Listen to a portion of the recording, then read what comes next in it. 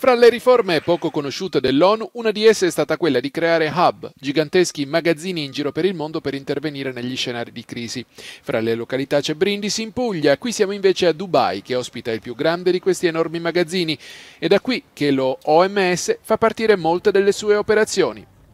Siamo in mezzo a una pandemia mai vista prima, Adesso siamo in grado di distribuire questo materiale dovunque e rapidamente, in modo da rispondere agli sforzi per contenere il virus.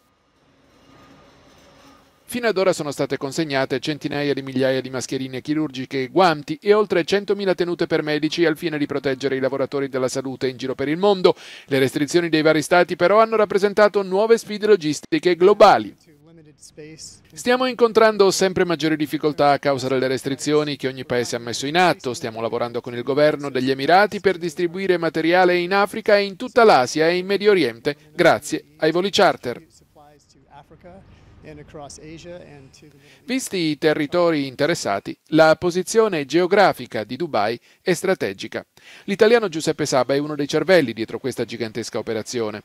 Da Dubai ci vogliono fra le 6 e le 8 ore per raggiungere due terzi della popolazione mondiale. Oggi la pandemia mette a rischio l'intera popolazione mondiale, ma la posizione di Dubai ci permette di raggiungere velocemente i due terzi della popolazione sul pianeta.